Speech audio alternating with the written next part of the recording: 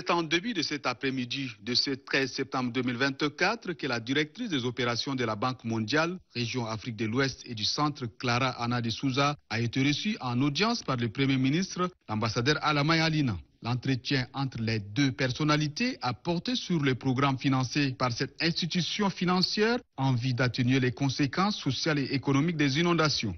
De la Mozambique, la directrice des opérations de la Banque mondiale région Afrique de l'Ouest et du Centre foule les sols tchadiens pour une seconde fois. Elle entend apporter le soutien de son institution au gouvernement tchadien, Anna Clara de Souza, au sortir de l'audience. L'objectif de ma visite était vraiment de euh, témoigner moi-même euh, les conséquences des inondations au terrain, échanger avec le gouvernement sur les priorités et la meilleure façon comme la Banque mondiale, euh, en coordination avec des partenaires comme le PAM et d'autres, peuvent accompagner le Tchad à répondre à cette euh, crise énorme qu'affecte les populations tchadiennes. La Banque mondiale a un programme qui est vraiment complètement aligné aux priorités du gouvernement du Tchad. Donc avec ça, je pense qu'ensemble, avec le gouvernement et d'autres partenaires, nous sommes dans un très bon chemin pour commencer à avoir des résultats très forts en bénéfice des populations tchadiennes. Nous avons déjà un programme en place pour aussi euh, N'Djamena qui va aider à gérer le mouvement, le flux de, de, de l'eau pour éviter ou minimiser les impacts des inondations.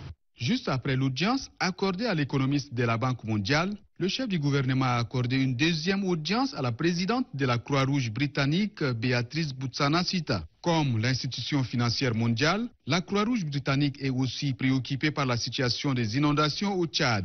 Après avoir effectué une visite sur le terrain et constaté de visu la situation réelle que vivent les sinistrés, Béatrice Boutsana Suta rassure le chef du gouvernement de sa volonté à conjuguer les efforts de son organisation avec la Croix-Rouge du Tchad pour soulager la souffrance des victimes. On est venu ici pour, comprendre la situation sur le terrain euh, en détail. Euh, j'ai passé un peu de temps à Fachana et Adré avec euh, la Croix-Rouge du Tchad.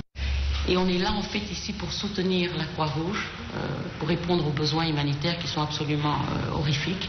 On en a discuté avec le Premier ministre, pas seulement du support financier, mais aussi technique.